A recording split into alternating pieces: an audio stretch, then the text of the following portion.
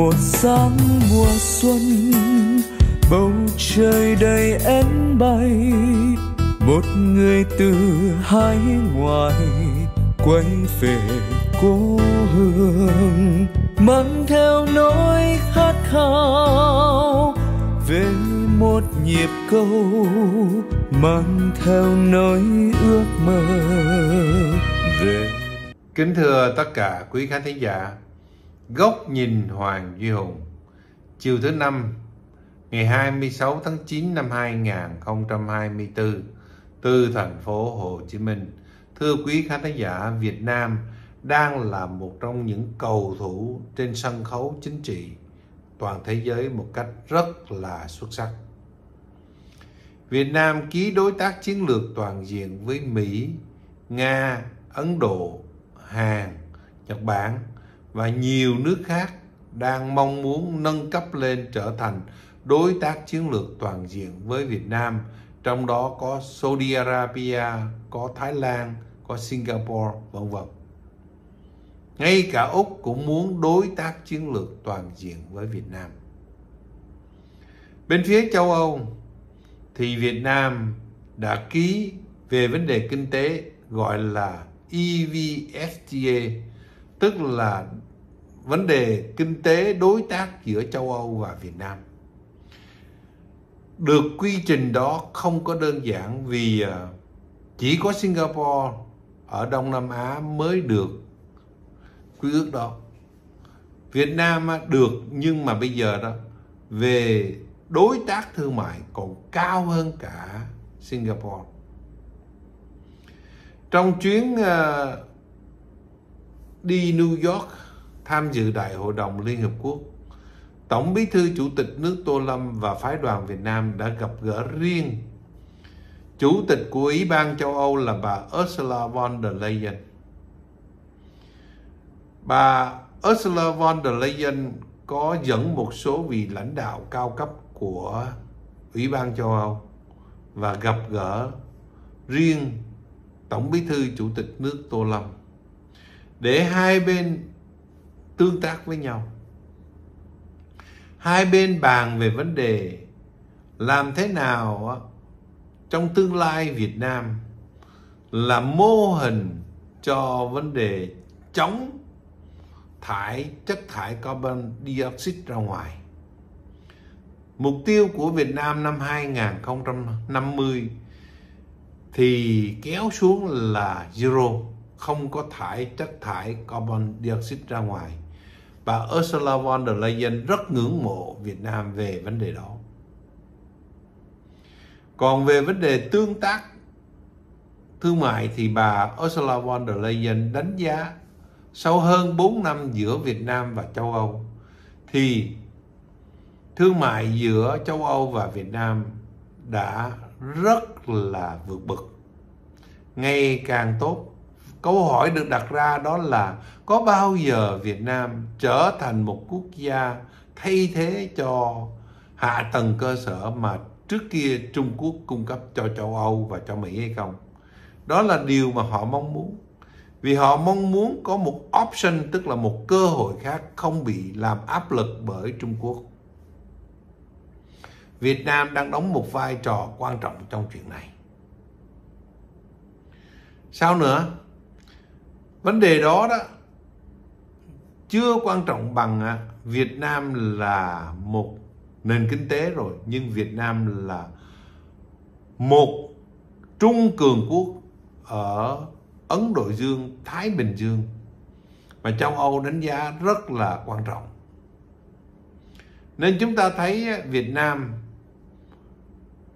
như sáng nay tôi có nói chuyện đó ông Zachary ông đánh giá đó là Việt Nam đi rất là khôn khéo, thăng bằng giữa các thế lực.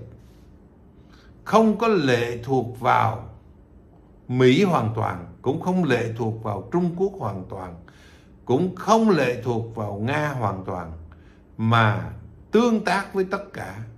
Việt Nam là một quốc gia rất là khéo léo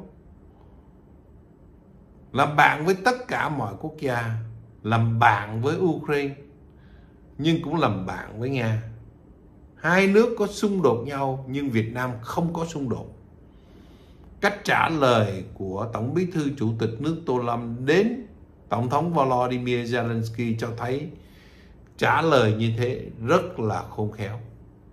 Tổng thống Volodymyr Zelensky muốn kéo Việt Nam vào bè với Ukraine cũng không xong, mà cũng không giận được Việt Nam. Rồi chúng ta thấy Việt Nam làm bạn với Triều Tiên nhưng cũng làm bạn với Hàn Quốc. Có mấy quốc gia nào mà làm được như thế đâu. Việt Nam làm bạn với nước Mỹ mà cũng là đối tác cộng đồng chia sẻ tương lai chung với Trung Quốc. Những quốc gia có những sự mâu thuẫn thì Việt Nam làm bạn được hết. Không có gì là khó khăn cả. Việt Nam rất khôn khéo trong vấn đề ngoại giao như thế. Nên à, những sự căng thẳng ở trong à, các quốc gia châu Âu thì Việt Nam cũng tương tác một cách rất là khéo léo. Chủ tịch Ủy ban châu Âu bà Ursula von der Leyen à, nói rằng là bà rất vui, bà vui lắm khi Việt Nam tương tác như thế. Trước đây có những nước nói rằng là muốn này nọ ra chát đòi bắt Tổng bí thư, Chủ tịch nước Tô Lâm trong việc mà gọi là đưa ông Trịnh Xuân Thanh về nước để mà xử về những việc mà ông Trịnh Xuân Thanh đã không làm đúng pháp luật Việt Nam. Thì qua đối tác này của Chủ tịch Ủy ban châu Âu bà Ursula von der Leyen cho thấy châu Âu, tôn trọng Việt Nam không thể nào mà để cái cảnh mà trống đánh xuôi kèn thổi ngược như thế. Việt Nam sẵn sàng đối diện với những cáo buộc, nhưng à, phải rõ ràng. Phải rõ ràng đâu ra đó.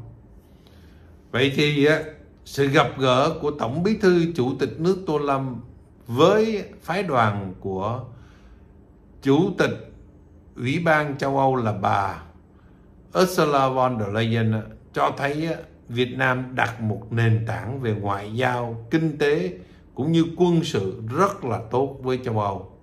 Đây là hình ảnh mà phái đoàn Việt Nam đã có cuộc họp với ờ, Ủy ban châu Âu.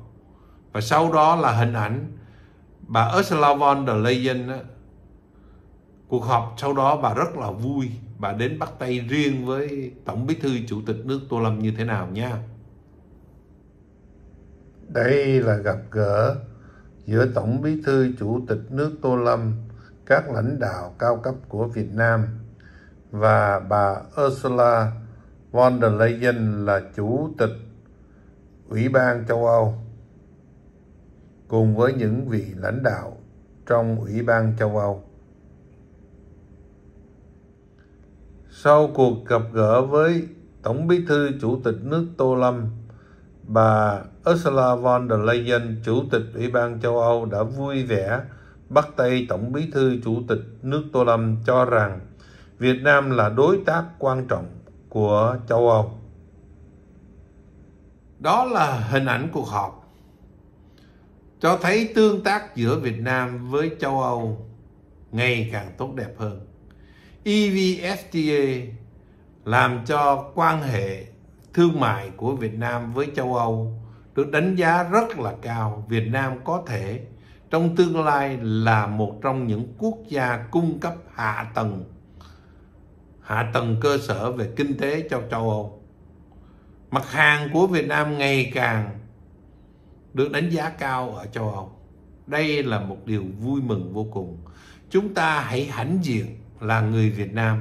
Đất nước của chúng ta đang vươn mình dậy dưới sự lãnh đạo của đơn đảng Đảng Cộng sản Việt Nam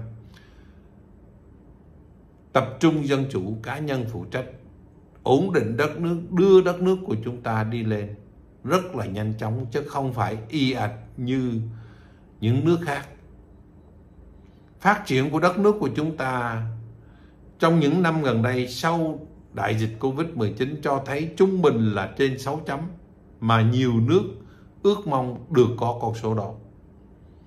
Chúng ta đạt được là nhờ chúng ta ổn định được chính trị, ổn định được chính trị là do chúng ta có cơ chế đơn đảng tập trung dân chủ cá nhân phụ trách và chúng ta trong những năm qua nhất là dưới thời kỳ của cố tổng bí thư Nguyễn Phú Trọng đốt lò làm sạch những tiêu cực và nấc thang minh bạch của đất nước của chúng ta được tổ chức minh bạch thế giới đánh giá lên điểm rất cao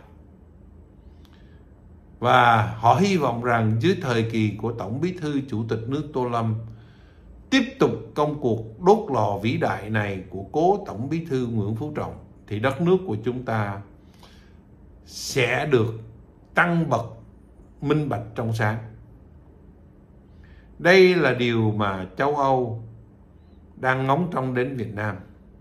Bà Ursula von der Leyen và phái đoàn châu Âu rất ngưỡng mộ sự quyết tâm của Việt Nam trong vấn đề làm sạch guồng máy cũng như trong vấn đề phấn đấu đưa đất nước đi lên kinh tế ngày một phát triển.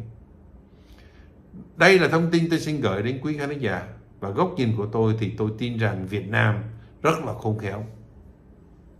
Ngoại giao cây tre của cố Tổng Bí thư Nguyễn Phú Trọng nay à, đang vươn mình rất là cao rồi. Việt Nam không có chọn phe nào hết, không có lệ thuộc về bất cứ một cường quốc nào mà Việt Nam đối tác với tất cả. Châu Âu có EVFTA, Mỹ thì có mậu dịch song thương. Trung Quốc thì Việt Nam có cộng đồng cùng chia sẻ tương lai chung. Nga, Việt Nam cũng tương tác một cách rất là chặt chẽ.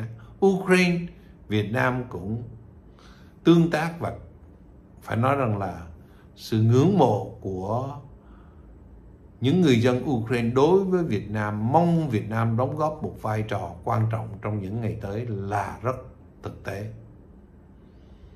Úc mong muốn trở thành đối tác chiến lược toàn diện với Việt Nam. Chúng ta đang à, tỏa sáng trên bầu trời chính trị quốc tế thì chúng ta biết ơn đảng đang lãnh đạo đất nước. Chân thành cảm ơn tất cả quý khán thính giả theo dõi và xin hẹn gặp quý vị trong chương trình sau.